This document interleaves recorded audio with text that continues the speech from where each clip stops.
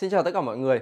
Dòng sản phẩm mới nhất của hãng Cambridge Audio đến từ Anh Quốc. À, họ có cái dòng sản phẩm mới đó là Evo 75 và Evo 150 và Hải Sơn nhận định rằng đây là những cái sản phẩm rất là thú vị và nó hoàn toàn là đúng với xu hướng mới của các thiết bị âm ly bây giờ. Đó chính là uh, tích hợp các công năng mà người dùng cảm thấy cần thiết và ngoài ra trải nghiệm đó chính là nhấn mạnh cái sự trải nghiệm mượt mà và xuyên suốt Cộng với đó là khả năng có thể kéo tốt được khá nhiều các loại ờ, loa khác nhau từ bookshelf cho tới loa cột ở phân khúc Hi-Fi. Chúng ta hôm nay nhân vật chính sẽ là mẫu Cambridge Audio Evo 75 và hôm nay thì Hải Sơn ờ, tiếp tục sẽ phối ghép với nó bằng một cái đôi loa cột. Đó chính là một đôi loa cột nhỏ nhất trong dòng Evo. Đó chính là ờ, Dan Audio Evo 30 chúng ta sẽ cùng Ừ, trải nghiệm cái combo này. Và bây giờ Hải Sơn sẽ giới thiệu trước về đôi loa cột và sau đó sẽ đến nhân vật chính của chúng ta. À, có thể nói là tương quan kích thước à, Hải Sơn đang đứng cạnh đôi loa này thì đây là một trong đôi loa cột có hình dáng rất là nhỏ. Nhưng mà thực sự đây là một trong đôi loa cột có chất lượng rất là cao. Nếu mà xét về phân hạng của nó nhé thì chúng ta có thể hiểu được rằng là ở cái phân hạng này là phân hạng thuộc hạng cao nhất của Hi-Fi. À, nhưng mà chưa tới 2n dòng 2n thì sẽ là những cái dòng cao hơn như là dòng Contour này uh, dòng Confident chẳng hạn thì đây là dòng uh, Evo là mức độ cao nhất nhưng đây lại là đôi loa cột nhỏ nhất trong cái dòng này. À, cái dòng này à, nó sẽ cực kỳ là hợp lý và thích hợp khi mà mọi người muốn xây dựng một hệ thống hi-fi gọn gàng không tốn nhiều diện tích đem lại chất lượng âm thanh thực sự là rất trong trẻo. À, nghe có độ truyền cảm tinh tế với một cái mức giá có thể gọi là vẫn chấp nhận được.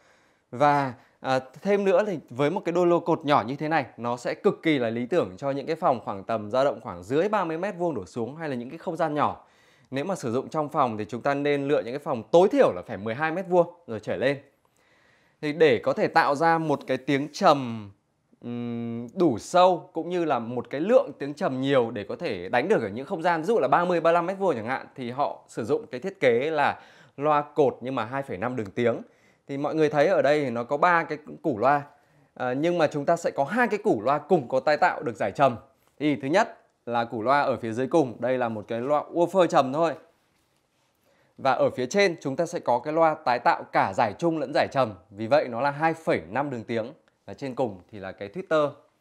Cái tweeter thì họ sử dụng cái tweeter có tên là Serota. Đây là một trong những cái dòng tweeter rất là quen thuộc rồi họ có những cái dòng như là Esota và Serota thì họ phân chia cho các cái cấp độ loa của họ và ứng dụng sử dụng vào. Còn ở dưới thì là những cái màng loa nó gọi là Esotech dùng cái công nghệ là MSP đấy là viết tắt. Thì những cái ờ, củ loa của Tran Audio như thế này thì luôn được chính hãng họ tự sản xuất chứ họ không đặt từ bên thứ ba. Cho nên là loa của Dan Audio là có những cái chất tiếng rất là riêng biệt. À, nó có được một cái sự mộc mạc nó vừa đủ cái sự ngọt ngào mà nó không thiếu cái độ tinh tế. Nói chung là rất là hợp với cái gu nghe đa dạng của người Việt cũng như có khả năng thể hiện được tốt từ nhạc trữ tình cho tới những cái nhạc mà tiết tấu uh, nhanh chẳng hạn. À, cái đôi loa cột này nó có trở kháng là 4 ôm và nó yêu cầu một cái công suất thì từ khoảng vài chục watt cho tới tối đa là khoảng 200 watt đó ờ, chúng ta đã tạm để xong cái đôi loa cột này và bây giờ đến cái nhân vật chính. Thì đây là một cái dòng sản phẩm mới Thứ nhất là mọi người sẽ nhìn về cái hình thức. Phải nói là Sơn rất là mê cái hình thức này. Sơn rất là thích cái sản phẩm này luôn. Tức là mọi người nhìn cái form nhé Đây là một cái form khác hẳn với tất cả các cái kích thước bình thường của âm ly hi-fi. Nếu mà nhìn từ trên xuống có thể gọi là đây gần như là một hình vuông vậy. Đây, tất cả các cái cạnh này là nó coi là bằng nhau. Nó hình vuông nhìn từ trên xuống. Và họ để cái logo Cambridge Audio ở bên này trông nó rất là tinh tế Rất là đẹp nếu mà xoay camera sang nhìn check sang hai bên, đấy, camera sẽ cho mọi người xem từ cái phần cạnh nghiêng như thế này. Nó là một cái nét cổ điển mà theo như là thông tin thì là họ lấy cái ý tưởng từ cái model là Cambridge à, Audio P40 một chiếc âm ly đầu tiên của hãng, ra mắt vào năm 68 họ sử dụng cái hồi gỗ hai bên. Mọi người để ý nhé, những cái âm ly của Nhật cũng như vậy, hay âm ly của châu Âu mà thời xưa ấy, thì họ rất hay áp dụng là làm cái phần má gỗ ở hai bên, hay là hai cái hồi gỗ ấy cho nên đây là một cái phong cách nó retro, nó hồi tưởng lại ờ, cái phong cách cổ điển hồi xưa. Nhưng mà họ lại đan xen, họ lại làm những cái chi tiết hiện đại, nó rất là ăn nhập, nó hoàn hảo với nhau. Bây giờ nhìn sang mặt trước nhé. Nếu mà nhìn sang mặt trước cái kiểu phẳng phẳng như thế này và cái núm volume lớn thì thấy ngay được đây là một cái đường nét rất là cổ điển với một cái volume lớn ở đây ở đây.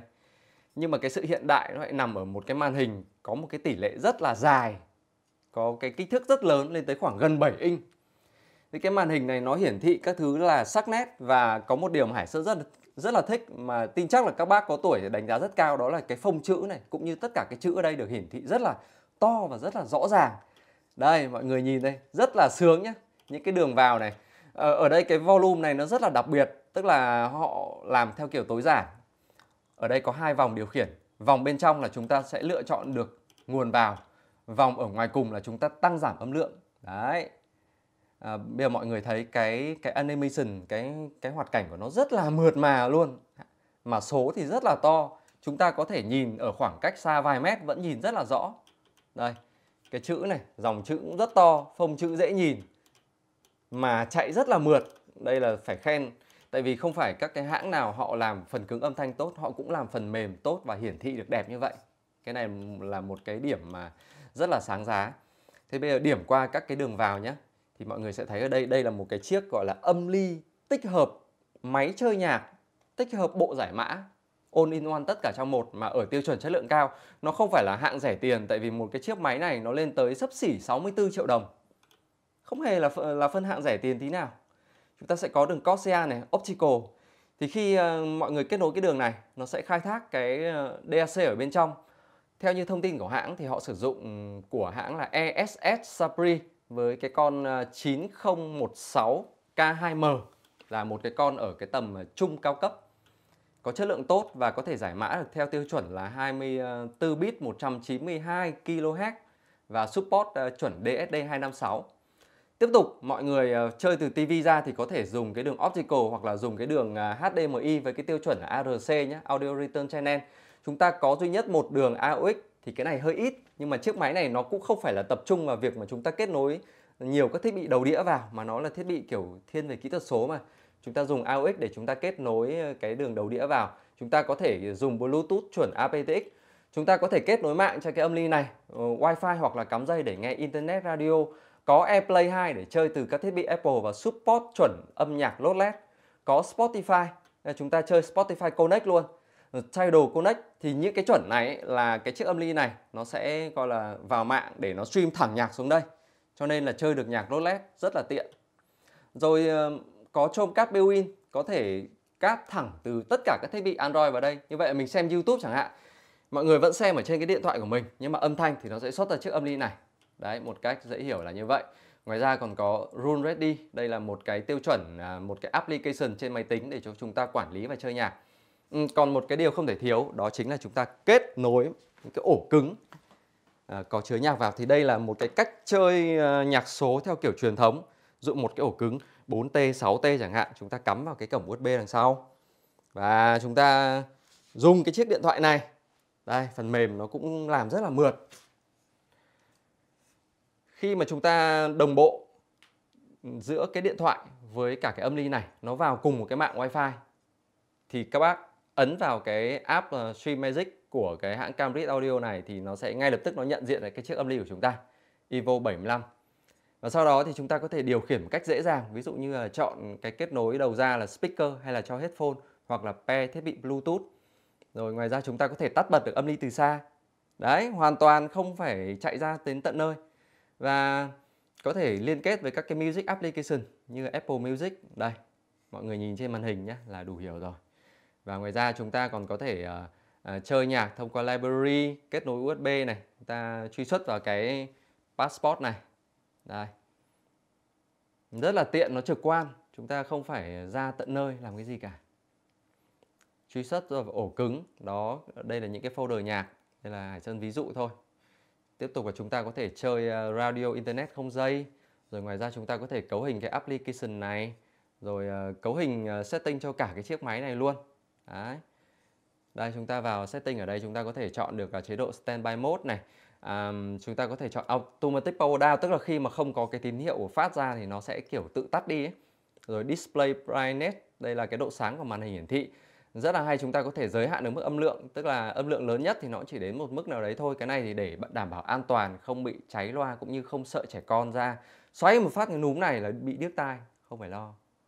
Rồi chúng ta có thể à, chỉnh âm sắc ở đây bật cái kích hoạt này lên chúng ta có thể tăng giảm được bát chép trong cái ngưỡng là cộng 10 trừ 10 này.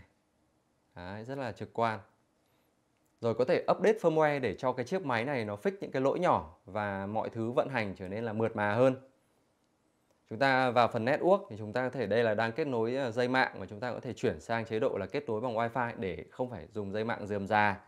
Ngoài ra đặt được múi giờ rồi là giao diện thì chọn được ngôn ngữ nói chung rất là tiện luôn, chúng ta không cần phải một cái chiếc điều khiển cơ học mà chúng ta dùng tất cả điện thoại thôi.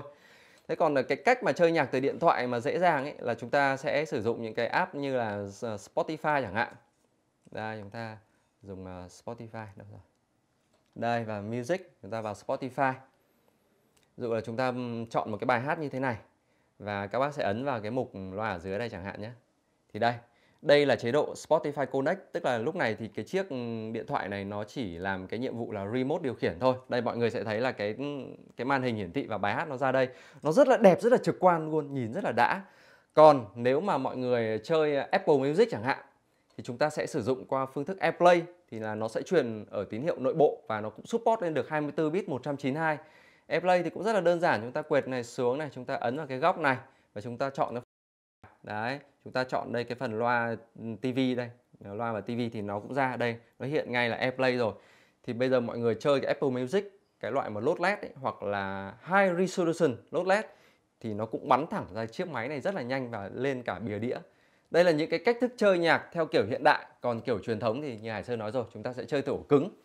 Thì bây giờ Hải Sơn sẽ ờ, thử nghiệm chơi nhạc từ ờ, điện thoại với cái giao tiếp là nhạc lốt led và nhạc từ Spotify Connect để cho thuận tiện nhất và kính mời mọi người trải nghiệm ngay cái bộ dàn âm thanh rất là hiện đại này.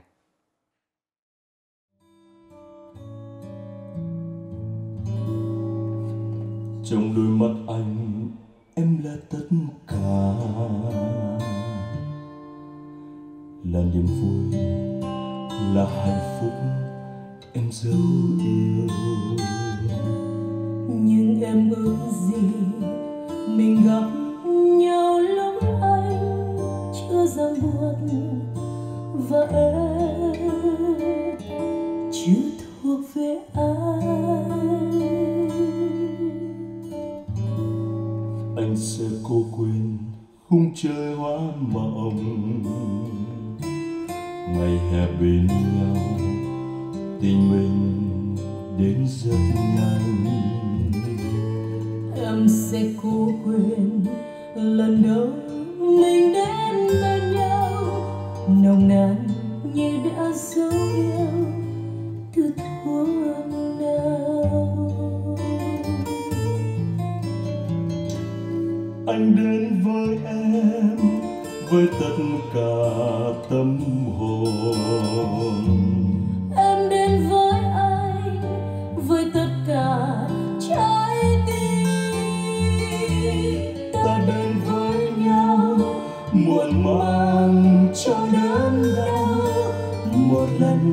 cho mang nhớ thương dài lâu.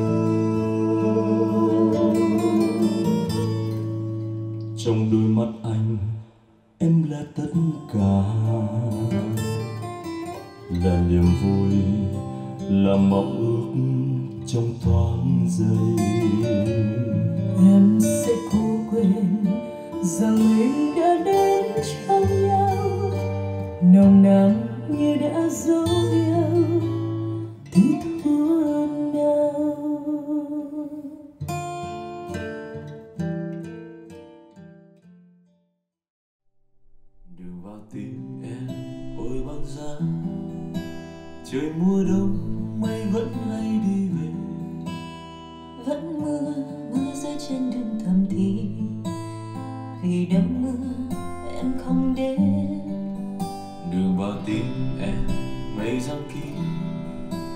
bàn chân anh trên lối đi không thành những đêm khuya mưa buồn một mình, có khi cho ta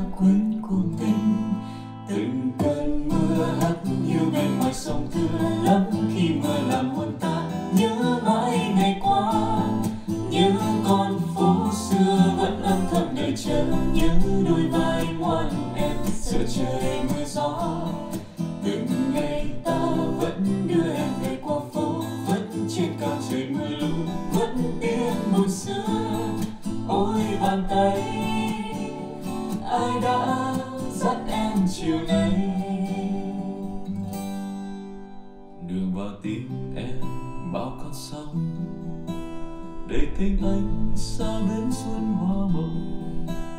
Trái tim em muôn đời lạnh lùng. Hỡi ơi trái tim mùa đông.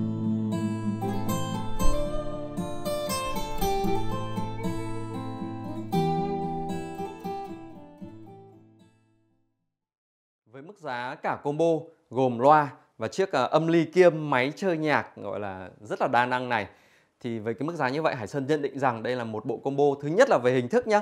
Nó có cùng một cái phong cách gọi là cổ điển nhưng vẫn đan xen với những đường nét hiện đại, rất thích hợp cho nhiều không gian khác nhau. Tiếp theo nữa là khả năng chơi nhạc kỹ thuật số thì quá tuyệt vời. Cảm hứng sử dụng rồi trải nghiệm rất là mượt mà. Còn về cái âm thanh thể hiện thì theo ờ, Hải Sơn thì cái bộ dàn này nó phù hợp với nhạc trữ tình hơn là những thể loại nhạc mạnh và phù hợp cho những phòng nhỏ. Nói chung là nên ờ, chơi trong những không gian trên dưới 20 đến 25 mét vuông, hiệu quả rất cao. Thì nếu ờ, như mọi người muốn tìm hiểu kỹ hơn về sản phẩm này, thì hãy tới Thiên Audio số 5 ngõ 198 phố Thái Hà Hà Nội. Xin chào, cảm ơn và hẹn gặp lại.